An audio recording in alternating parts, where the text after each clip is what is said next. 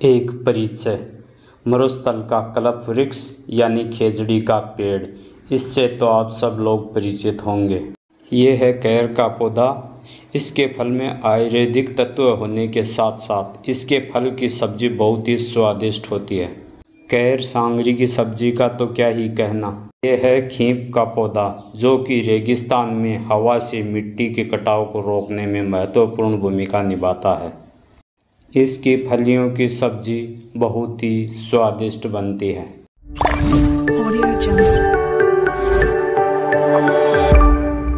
नमस्कार दोस्तों एक और नए वीडियो में आज मैं आपको मरुस्थल में लुप्त होते उन तीन पेड़ पौधों के बारे में बताने जा रहा हूँ जो कि लुप्त होते जा रहे हैं। अगर ध्यान नहीं दिया गया और सब यूँ ही चलता रहा तो ये पेड़ पौधे आने वाले 30 से 40 वर्षों में लुप्त हो जाएँगे।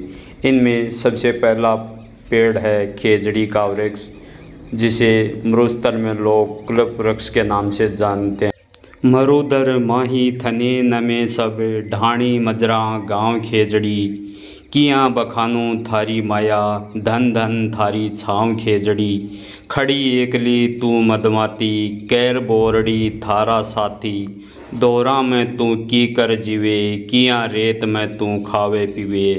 कोसा ताई नज़र न आवे, जल रो कोई ठाव खेजड़ी। इकतीस अक्टूबर उन्नीस सौ तिरासी को खेजड़ी को राजस्थान का राज्य वृक्ष घोषित किया गया।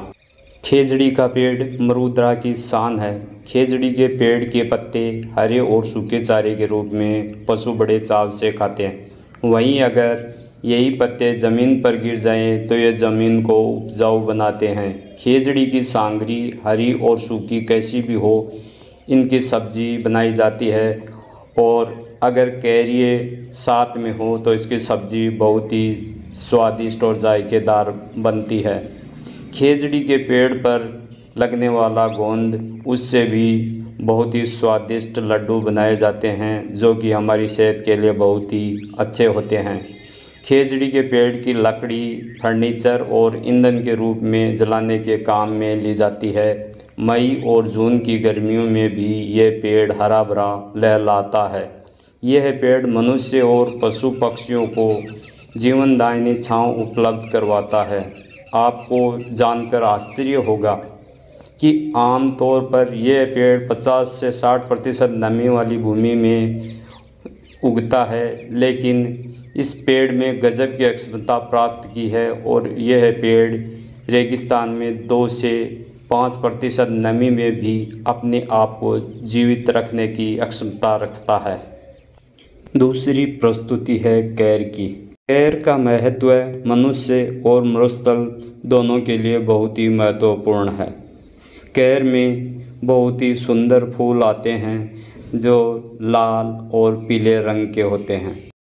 कैर में पत्तियाँ नहीं होती, इसलिए कैर को पानी की बहुत ही कम आवश्यकता होती है। इसीलिए कैर रेगिस्तान में पनपता है और कैर की छाँव बहुत घनी गहरी होती है, जिसमें रेगिस्तान में मनुष्य, पशु, पक्षी सभी का बहुत ही अच्छा साथी होता है।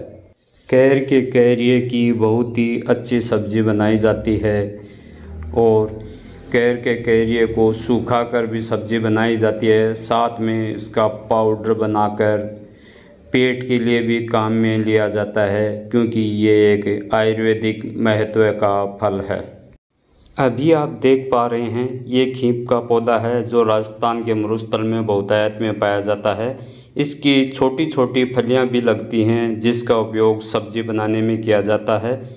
खीप का पौधा भी शुष्क जलवायु का पौधा है, जो कि मरुस्थल में आसानी से हो पा, जाता है। ये जो तीनों पेड़ पौधे जो आपको दिखाए हैं, ये लुप्त होते जा रहे हैं। हमें आगे आकर इन पेड़ पौधों को लुप्त होने से रोकना है, ताकि मरुस्थल आगे ना फैल सके।